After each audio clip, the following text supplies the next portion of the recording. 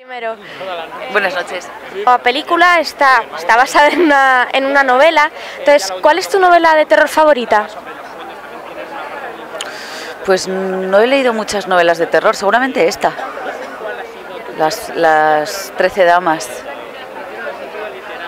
Y de- dices que no lees mucho de terror, pero lees en general. Y si es así, ¿qué te gusta leer? ¿Qué, qué tipo de género?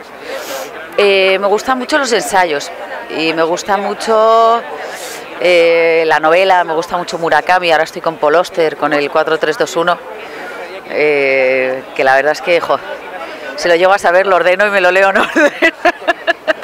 Eh, y me gustan las, de, las policíacas, me gustan mucho, P.D. James, las clásicas, así como no, no muy no, no muy duras. O sea, la, la- la de Stieg Larsson, no sé por qué un- entré.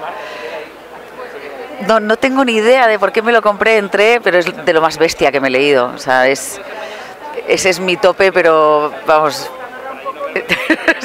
ese tope me dura años. Y un poco al hilo de la película, ¿cuál es tu infierno particular? Eh, yo creo que está muy bien en la película, está muy bien contado, que en el fondo es como que tú eres tu propio infierno, ¿no? O sea, tú eres tu propio enemigo y el que te pone límites y el que te encierra y, mm, y supongo que eso es lo que más miedo me da, ¿no? Bueno, ¿y en qué proyectos estás embarcada ahora mismo, así para acabar?